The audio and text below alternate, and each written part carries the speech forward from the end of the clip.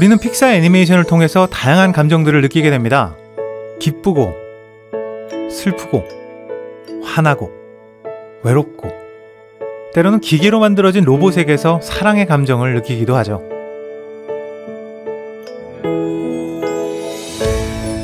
하지만 생각해보면 픽사 애니메이션은 그저 컴퓨터로 만들어낸 허상에 불과합니다. 컴퓨터 속 가상의 공간에서 하나의 점으로 시작해서 선이 되고, 면이 되고, 양감을 가진 입체로 만들어진 가상의 캐릭터. 이런 가상현실 속 허상에서 감정이 느껴지는 건 왜일까요? 이들에게 생명력을 불어넣고 영혼을 깃들게 하는 진짜 마법은 어디에 숨어 있을까요?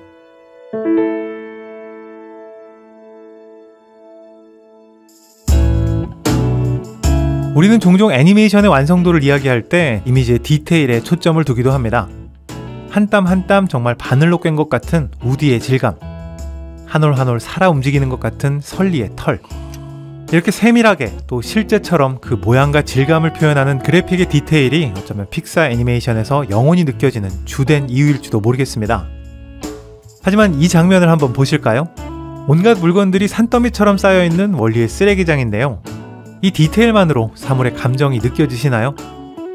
하지만 지금은 어떻습니까? 아까와 똑같은 장면이지만 단지 컴퓨터로 만들어낸 허상이 아니라 실제 있는 듯한 양감과 질감이 고스란히 느껴지죠.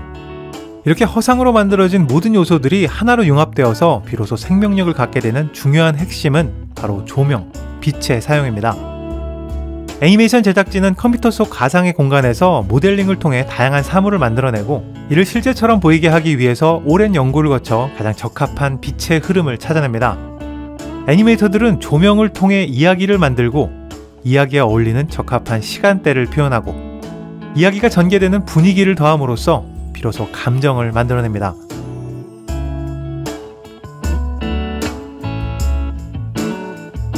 잃어버린 니모를 찾아 떠나는 멀린과 도리의 모험은 바다를 배경으로 펼쳐집니다.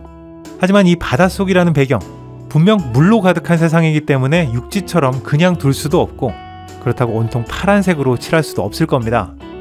픽사의 제작진은 이런 바다의 느낌을 표현하기 위해서 실제 바닷속에 카메라를 설치하고 다양한 시간과 장소에 따라 달라지는 빛의 흐름을 추적했습니다. 그리고 이를 컴퓨터로 옮겨서 이미지의 요소들을 하나둘 빼고 더해가면서 과연 바닷속의 느낌은 어떤 요소에서 비롯되는지 오랜 시간 동안 연구했습니다. 너무도 다양한 요소들이 복합적으로 적용되어 있어서 하나하나 다 설명드릴 수는 없을 것 같은데요. 관객들에게도 눈에 띌 만한 두 가지 요소가 있습니다. 먼저 수면 바닥에 비치는 햇살의 움직임입니다. 물의 표면에 반사되고 투과되어서 만들어진 이 빛의 흐름은 수면의 깊이에 따라 카메라 피사체의 거리에 따라 다른 모양과 색감으로 표현됩니다. 또 캐릭터의 움직임에 따라서 미세하게 떠다니는 바닷속 부유물이 있는데요. 눈에 잘 띄지는 않지만 미세하게 떠다니는 이 부유물의 존재 때문에 캐릭터의 동작에 따라 달라지는 물의 흐름이 표현되고 있습니다. 이렇게 수년간 진행된 물의 흐름과 빛의 변화에 대한 제작진의 연구는 영화 전반의 생기를 불어넣는 가장 핵심적인 요소가 되었습니다. 이렇게 현실의 과학을 기반으로 만들어진 새로운 애니메이션 기술이 실제 바닷속을 표현할 수 없었던 이전까지의 예술적인 한계를 없애게 된 거죠. 이런 빛의 사용이 더욱 중요한 역할을 하게 되는 계기는 애니메이터들의 집착이 더해지는 때입니다. 2008년 픽사의 명작 월리에서 주인공 월리는 사람의 형상을 한 휴머노이드 로봇이 아니기 때문에 얼굴도 표정도 심지어 대사도 없습니다. 얼굴을 대신하는 망원경이 원리의 모든 표정과 감정을 표현하고 있죠. 실제 원리의 모델이 된 이 망원경에는 세 겹의 렌즈가 들어있었습니다. 처음에 원리를 디자인한 애니메이터들은 이 3중의 렌즈를 과학적으로 고증해서 가장 사실적으로 표현했었다고 하는데요. 이 렌즈의 투광을 늘려보고 줄여보고 또 빛의 반사까지 더해봤지만 아무리 해도 원리에게서 감정이 느껴지질 않았습니다. 그렇게 기약 없이 수개월 동안 눈동자 하나에만 집착하던 과정에서 정말 우연히 중간에 있는 렌즈가 어둡게 되는 설정을 적용했는데요. 그제서야 동공에 있는 사람의 눈처럼 보이게 되었습니다. 똑같은 디자인, 똑같은 프로그램이지만 무수한 노력과 집착으로 비로소 픽사의 명작으로 남을 원리라는 주인공이 탄생하게 된 거죠. 실제 털보다 더 실제 같은 수백만 개에 달하는 설리의 털이나 셀 수 없는 풍선들이 모두 다른 움직임을 보여주는 업의 풍선집 또 수백 개의 전구 빛을 하나하나 별도로 모델링해서 실제와 똑같이 적용한 토이스토리 4편의 카니발 장면은 단순히 발달된 컴퓨터 기술이 아니라 보다 현실 같은, 보다 리얼한 장면을 만들려는 애니메이터들의 숨은 노력과 집착이 있었기 때문입니다.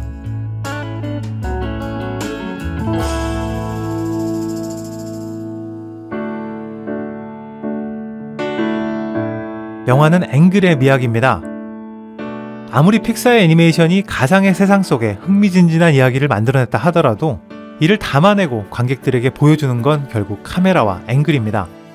지금 보시는 장면은 인사이드 아웃에서 슬픔이와 빙봉이 이야기하는 장면인데요. 이 장면은 컴퓨터 속에 구현된 가상의 카메라로 촬영되었습니다.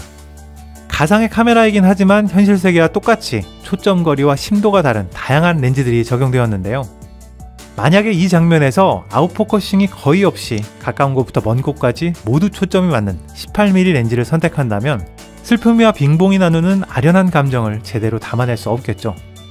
하지만 카메라를 더 멀리 배치하고 50mm 렌즈로 담아내서 슬픔이와 빙봉의 모습은 선명하게 멀리 보이는 배경은 초점이 흐려지게 촬영한다면 지금의 장면에 꼭 맞는 아련한 감정이 살아나게 될 겁니다. It's all I had left of Riley. 이렇게 픽사의 영화들은 컴퓨터로 만들어낸 세상이지만 이를 담아내는 카메라의 컨셉은 현실 세계와 동일합니다. 멀리 있는 기쁨이와 바로 앞에 있는 기억 구수를 모두 함께 담아내는 18mm 렌즈. 바로 앞에 인물이 조금 볼록하게 보일 정도로 강조되지만 뒷배경은 충분히 흐려지는 32mm. 거리를 두고 있는 5명의 캐릭터가 모두 하나의 앵글에 들어오지만 슬픔이와 기쁨이에게 포커스가 집중되는 75mm. 그리고 역동적이고 다이내믹한 장면에서는 피사체와 배경이 고르게 초점이 맞는 18mm 렌즈가 사용됩니다. 렌즈의 선택은 단순히 장면의 느낌만이 아니라 캐릭터의 특성을 담아내는데도 사용됩니다. 같은 공간에 있는 두 캐릭터를 담을 때도 꿈을 쫓아 당당히 홀로선 보핍의 모습은 out focusing으로 이상주의적인 느낌이 더해진 135mm 렌즈를 사용하고 있고요. 고집불통으로 앞뒤가 꽉 막힌 우디의 모습은 모든 사물이 선명하게 보이는 18mm 렌즈로 촬영되었습니다. 픽사 애니메이션에 사용되는 가상의 렌즈는 결국 소프트웨어이긴 하지만 실제 모델이 되는 렌즈의 특성을 그대로 적용했습니다. 토이스토리 4편은 가로 비율이 더 길어진 2.39대 1의 화면비로 제작되면서 135mm anamorphic 렌즈를 모델로 한 가상의 렌즈가 사용되었습니다. 이 렌즈는 피사체를 클로즈업해서 촬영할 때 흐려진 배경의 빛 번짐이 타원형을 띠는 특징을 가지고 있는데요. 실제 렌즈로 촬영한 영화가 아님에도 불구하고 이런 렌즈의 특징이 토이스토리에서도 그대로 적용되고 있죠. 픽사는 렌즈의 사용뿐만 아니라 촬영 방식 자체에서도 현실 세계의 촬영 방식을 다양하게 적용하고 있습니다.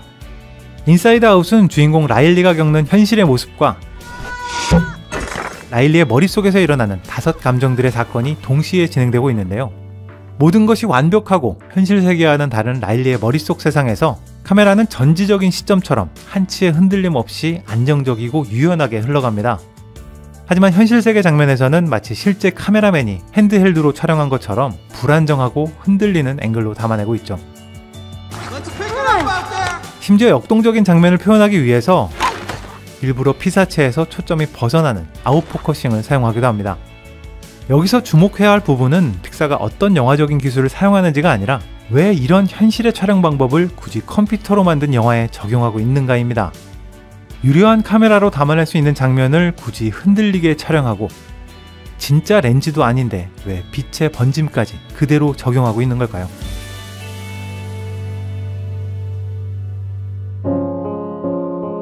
픽사가 영혼을 담아내는 방법. 이렇게 거창한 제목을 달긴 했지만 사실 뭔가 대단한 비결 같은 건 없을지도 모릅니다. 현실 세계에서는 표현할 수 없는 놀라운 상상력을 단지 컴퓨터 기술로 가상의 공간에서 만들어냈을 뿐, 이를 연기하는 배우들도, 이를 촬영하는 카메라도 사실은 보통의 영화와 다를 것이 없습니다.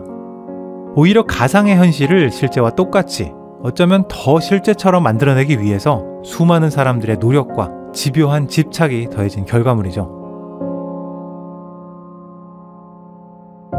픽사가 컴퓨터로 만든 허상에 영혼을 담아내는 진짜 비결은 바로 거기에 있습니다. 과학을 바탕으로 예술의 한계를 극복하고 이성의 집약으로 감정을 담아내는 바로 사람, 그리고 그들의 노력입니다. 혹자는 점점 발전되는 컴퓨터 기술이 현실 세계 영화 산업을 완전히 잠식할 거라 이야기합니다. 언젠가는 아무런 피사체도 없는 허상의 화면이 모든 극장가를 장악할 거라 우려하기도 합니다. 하지만 그런 걱정은 하지 않으셔도 될 것 같습니다.